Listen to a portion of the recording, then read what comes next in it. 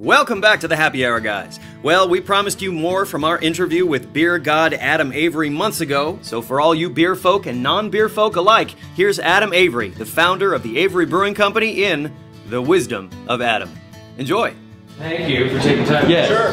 We're here with the man himself, Adam Avery, who started this whole Magilla back in 1993. Correct. Tell us about that. What was it like starting up this brewery back at that point? It was, uh, I kind of reflected back and just realized what a dumb punk I was thinking that I was 26, 27 years old and had only homebrewed for a couple of years and was uh, looking for something to do in my life and, and my friends were like, hey, you make great beer, you should think about, you know, opening a microbrewery. I just decided to write up a business plan and eventually my dad was like, that looks good and one of his friends was like, that looks good, so $90,000 and we started a little tiny brewery capable of producing, I think, uh, 800 barrels.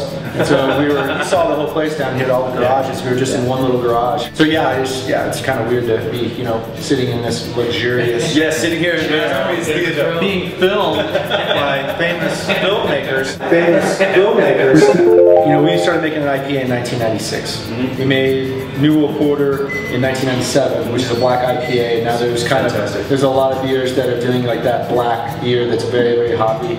So we did that in 97. What was the tipping point? Was there like a gut check moment where you were like, come on, come on? That was it. Making great Nin- beer. 1998 was, you know, Dad and I hadn't paid ourselves for a couple years. We weren't making any money. And so I thought, hey, if we're going to go down, we're going to go down in, you know, tasty flames. really hoppy, tasty flames. Right on. So we made Hog Heaven.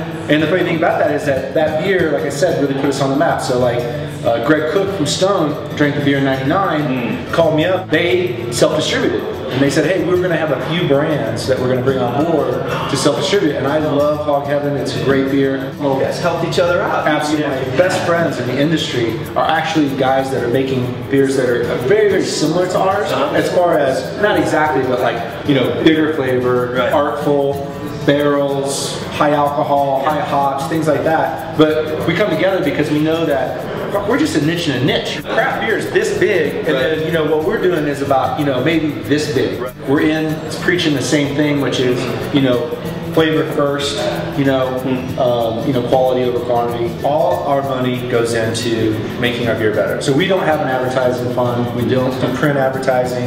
All our money goes into having the best equipment that we possibly afford, using the best ingredients that we can. You know, having fun with these barrels. Yeah. You know, have- But we, I mean, we think we've always found that that craft brewers make great neighbors. Well, our neighbors love us and hate us because we're high usage. We have a lot of trucks rolling through here. As you can see, at the end of the day, they can come in here and drink, Yeah. typically for at least half off, if not for free, depending on you know what we've done to them.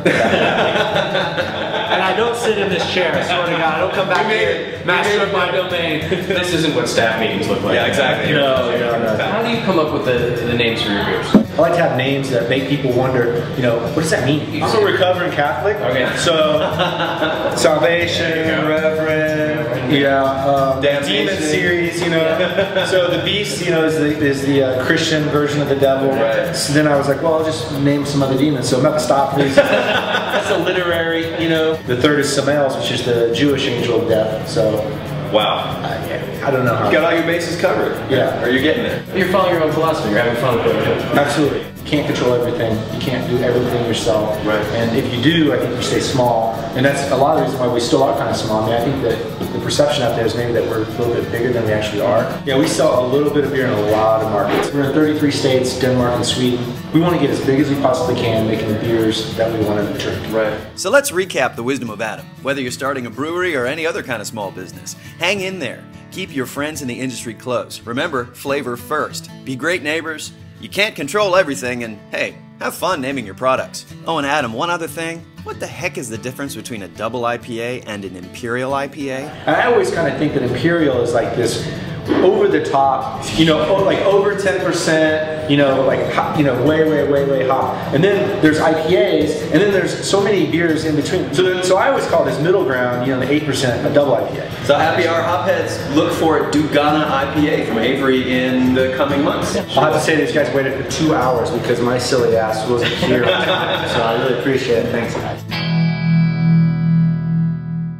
We made some friends. Exactly. I figured they'd be drinking free beer, so I don't feel so bad for them. Yeah.